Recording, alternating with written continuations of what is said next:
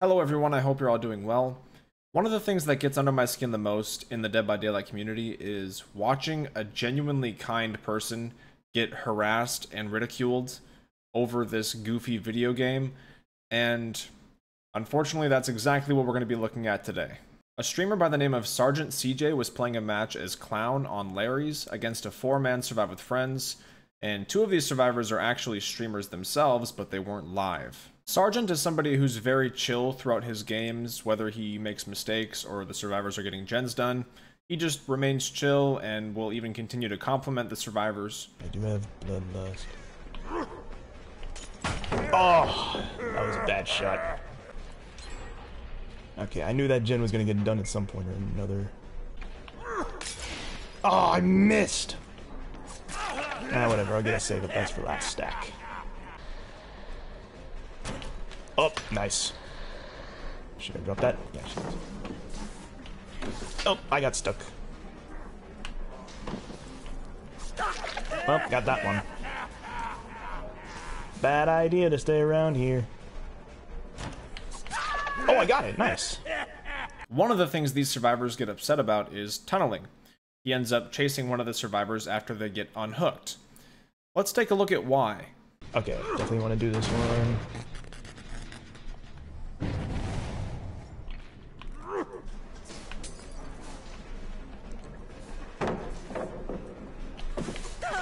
Ah, and borrowed time. I probably should have swung. Oh well. As you can see, the survivor gets unhooked and immediately runs directly into the killer to try and take aggro. Now, I think it's kind of silly to blatantly throw yourself directly in front of the killer to try and get their attention and then complain that you got tunneled. Many survivors do this to try to waste the killer's time. They'll try to body block with the endurance, take a hit, and then at that point they just hope the killer leaves them alone, which is pretty ridiculous. I mean, if you're gonna, you know, you want to take the aggro you want to take the chase, expect to get chased. The survivor does end up going down again and they get hooked. And after they get hooked, the entire team ends up swarming around the hook trying to get the save. So he doesn't have anywhere to go, so as he says, I have no reason to leave at this point. And since the entire team was there, Sergeant just waited for one survivor to commit to the save so he could get a trade, but none of them did commit, and so they died on hook.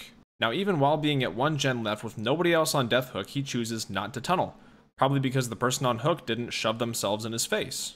And this is the point where the messages start to pour in.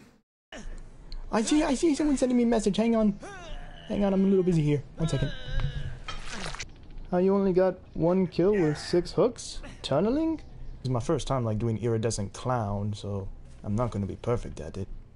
At the end of the match, he gets Gabriel on the hook and decides to stay near the hook to secure the kill and get a 2k. There we go. Alright, sweet. Got a 2k, makes it a draw. This is where the messages really start to heat up, and you'll notice there's two names of the survivors that I don't blur out, and that's because their names don't exist on Twitch anymore. I'm assuming because they got banned, but I am going to blur the two that are streamers, just because I don't want anybody to go over there and harass them. Uh, and Sergeant also requested the same thing, that I blur their names so that nobody harasses them. Also, I don't think it's worth giving them any extra attention. Anyways, back to the match. Average two viewers playing like this? That's crazy, dog. Oh, the classic viewer shame. That's insane, Brody. Well, I mean, wh- what did you want me to do? I was protecting that kill to make it a 2K. What do you want me to do? Go around the map, count to 10, and be like, ready or not, here I come? But GG's, though. I wish you luck your next game. Even despite getting shit talked and viewer shamed, he still tells them GG and wishes them luck in the next match. I love this guy's attitude. If you thought the viewer shaming was bad, it gets much worse. You should want to commit here.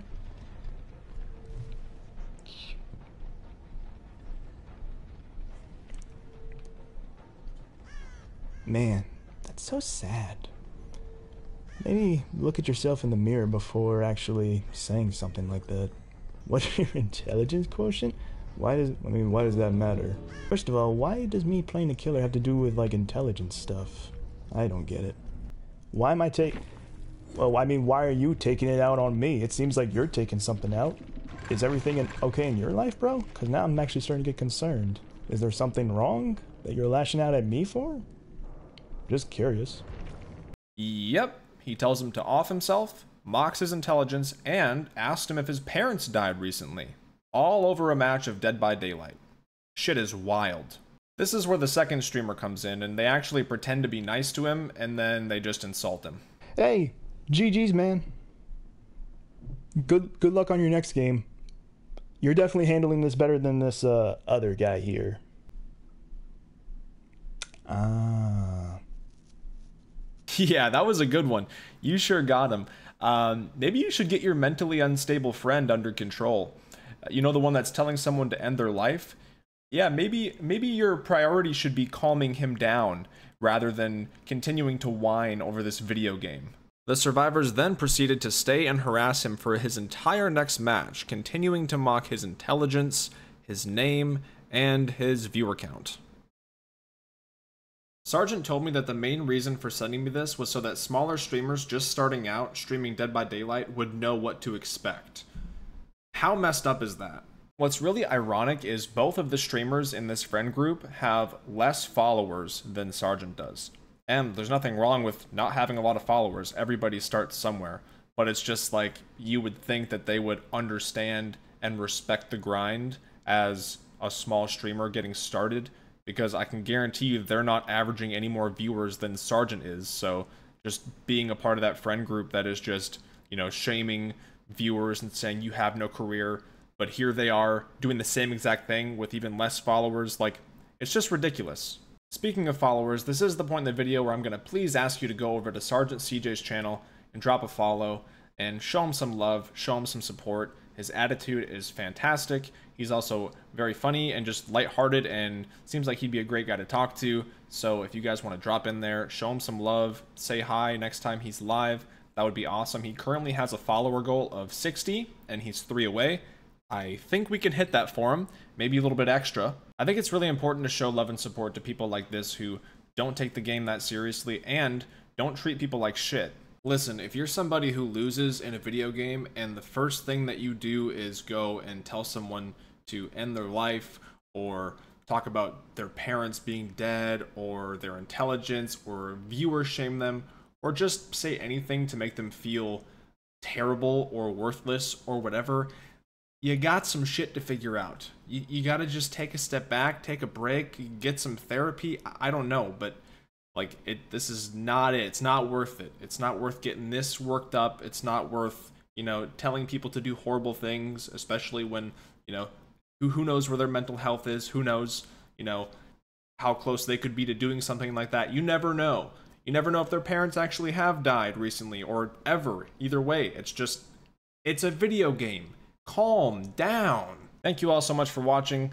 Please don't be like the survivors in this video. And uh, if you've had experiences like this with survivors or killers, let me know in the comments. Be kind to your fellow gamers, and I'll see you in the next one. Goodbye.